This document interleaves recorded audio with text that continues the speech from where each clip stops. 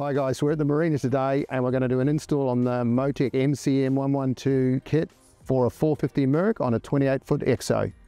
Well, let's have a look.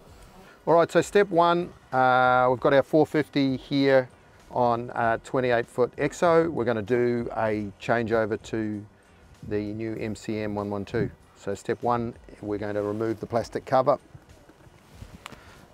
exposing the ECU, Obviously we're making sure that the isolators are off, the key is off before we go removing the product.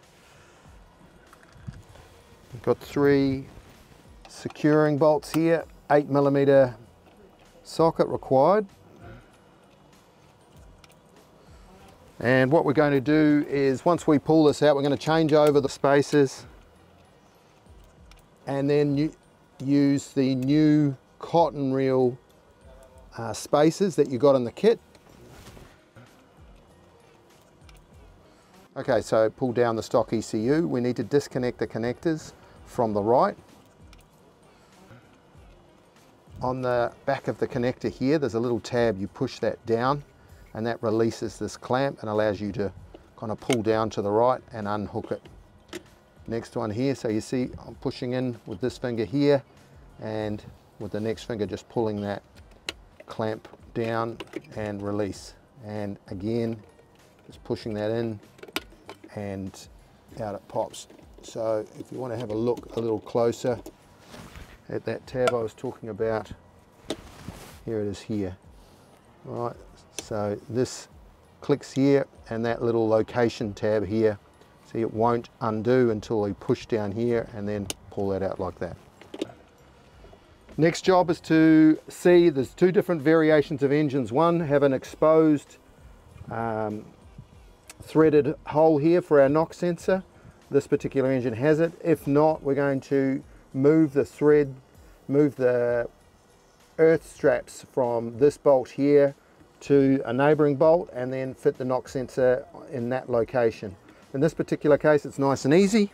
We just take our knock sensor with the bolt, eight millimeter bolt. Screw that in. A little bit of Loctite if you're putting it on forever. 13 mil socket on here. Move this around to about sort of three o'clock, 3.30.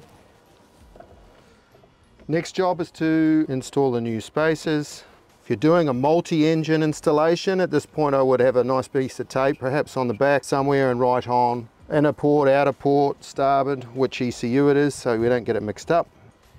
Grab the accessory loom, plug that in. Again, starting this time on the far left, install the connector.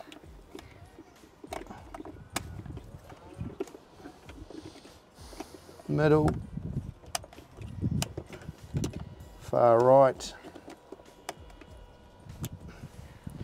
Bring across the uh, connector for the knock sensor, plug that on.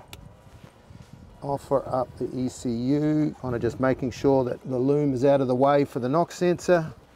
Grab your securing bolt,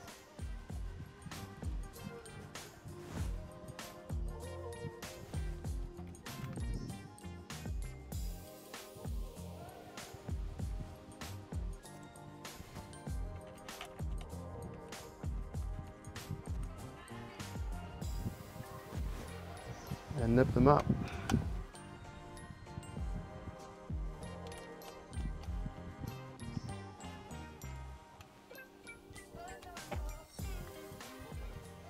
Right, this is the communication cable. Just kind of route it down here. If you're going to make a nice job, perhaps run the Ethernet communications through the umbilical here and you can join that up and under there. But by this point now, it's ready to turn the key.